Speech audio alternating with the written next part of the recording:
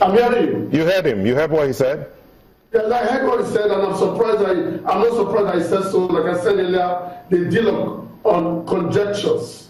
I, I, I, I'm, I'm surprised that he could, um, he could uh, involve the governor and uh, those sentiments and sympathy for students who felt their lives were threatened by um, the conduct of an election on a day that they were to write an examination that would mean so well for them in the future. So I thought that those who raised um, alarm and raised eyebrow um, did the right thing. And all he needed to do was to ensure that they were reassured. And I think they were reassured. So the issue of exam was not that issue.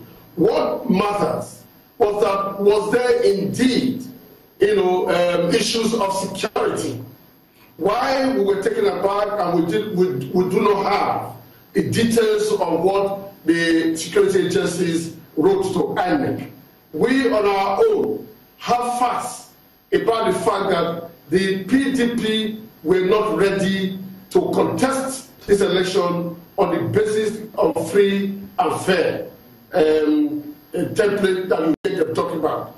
I have heard them talking about free and fair elections, but it is mere verbalization because they do not mean it. And if you look straight into their faces, you will know that they do not mean it. Indeed, if you look at their past and what they have done, their own lifestyle, and what they have always and the way they have always caused trouble. Everywhere we've been, it is obvious that from day one they never planned for a free and fair election. Okay. And I will give you a few facts in that direction. When my, my chairman, my state chairman, addressed the press yesterday, he made reference to the fact that some persons in the North, and their names were mentioned by him, who were arrested last time because they have they have um, uh, were involved and were caught involved with um, Ill with illegal activities with regard to the, the, the, registration exercise that took place. And he made it clear that that case was already in court. That is an established case.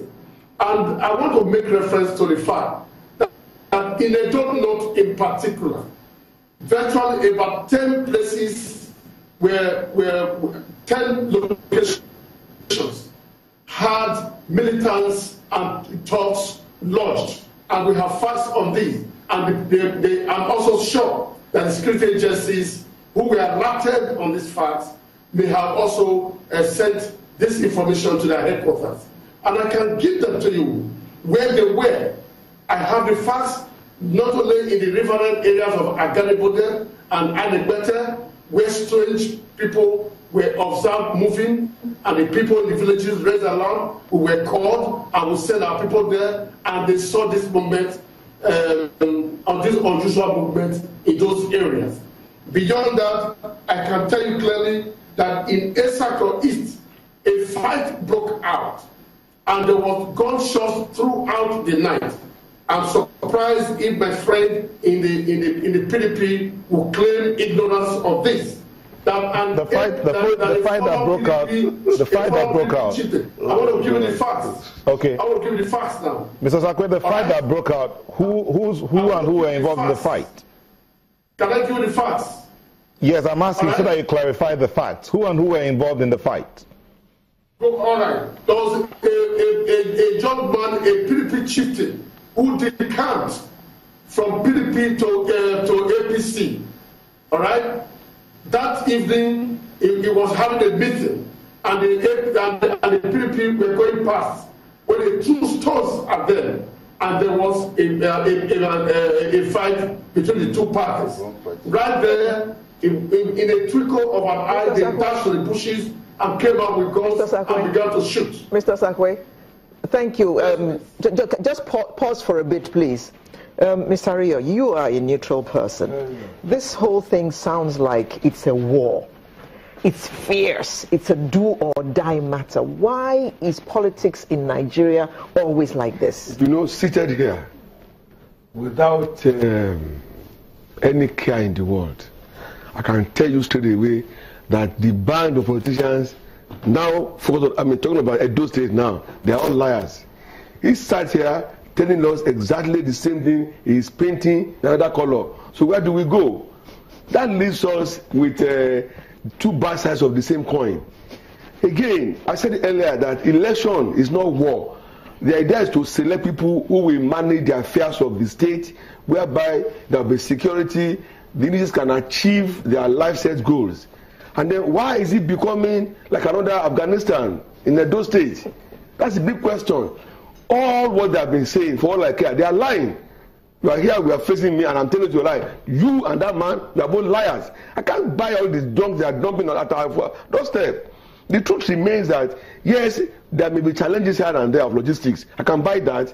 But to now make it look like Edo State has become such a, uh, a, a, an, an amphitheater of war that ordinary election cannot take place. To just go get a paper, thumbprint, and drop in the box and leave, and I wait for counting.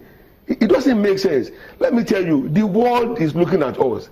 It's no longer the time where in your own corner you can do things your own way and get away with it. We are, we are reducing our rating standard globally with this kind of things. Is it because you want to protect and deliver value to the people that you are doing all of these things? No. All of these things are happening due to self-interest. Uh, Mr. Rio, the, there's this other side of it during the Salah celebration, I mean, there's a, a, long break from the weekend up till Tuesday is like a holiday. Right. And there's going to be a lot of movement. Don't you think that necessitated? I mean, that was part of the security. That should be part of the security see, report because people will move from one location to the other. They might not be where they registered. Shouldn't wouldn't that affect the election? I said it earlier. That if they had said because of the WAEC exam, God knows I will have bought it because there will be no movement on election day. Unfortunately, WAEC will not because of Edo State postpone its election, you know, across mm. the operational areas. I will have bought that. And everybody knew that these things are coming on. How come they had to wait till the very last Two days minute, before, yeah. the, the, the 11th hour, mm. as somebody said? And you know, the point is, where I found all these things suspicious that INEC is supposed to be an independent body. I would have to tell INEC to come out and say, in the face of all information One, that we two, have three. from police, from DSS, from Army, Navy, Air Force, Civil Defense, or whatever, even Boy Scout, we can no longer go ahead. The image of INEC has been jeopardized because for another organ of government to come out and say you cannot go ahead, you are being advised to go ahead That is civil service language, and it doesn't make sense to me. Mm. I, they, they needed advice. They should have sought for it. Okay? INEC is the celebrant. It's their game. It's their show. It's their party. You know that we say, okay, look, oh, I have this event coming up. Can we go ahead, please? And they can now say, okay, but no. They woke up from wherever they were sleeping to now say, INEC, you can't go ahead. They impose their ideas on INEC. Mm. I mean, it doesn't make sense. This is the way we are going voter apathy that will come up will be massive. That's what I was going to put exactly. in Mr. Because I, I, was going to say to him, now, um, if you take Ario now to represent um, a citizen in Benin who was looking forward to elections, with the goings on between your two parties, fighting here, stoning here, shooting there, do you think they will actually have the courage to come out on election day, whenever it is? We now hear it's 20, 28th of September. Will they actually have the courage to come out and vote? Won't they be scared for their lives? I think to start that, with all due respect to Mr. Ario, politicians are not liars, and I'm not a liar. with all due respect.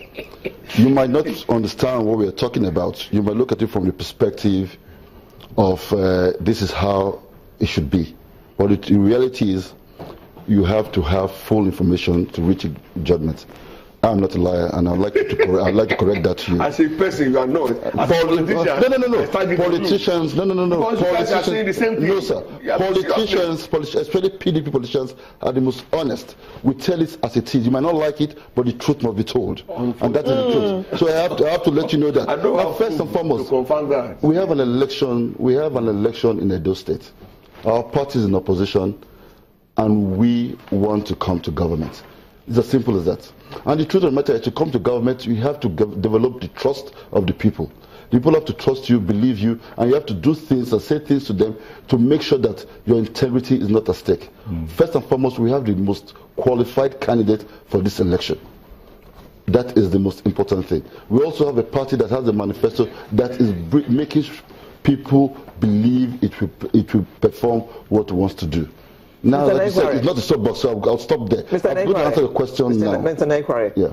I'm sure you cannot claim not to be aware of the fact that Nigerians are very wary of politicians. Yeah. Because for most of them, hardly any has delivered on their promises. It's, it's unfortunate. That, On the is what- soapbox, that they will scream, I will build roads, I will is do this, but they don't, they just is what go there and that is amass what wealth. Today's For themselves. Yeah, that is what today's PDP is trying to redress. Okay, Now, it's this a good place. Just hold your thoughts. but when we do come back after this short break, Mr. Sakwe, you'll respond to this question put forward by Alera so that we can get the two sides in on this conversation. So please don't go away.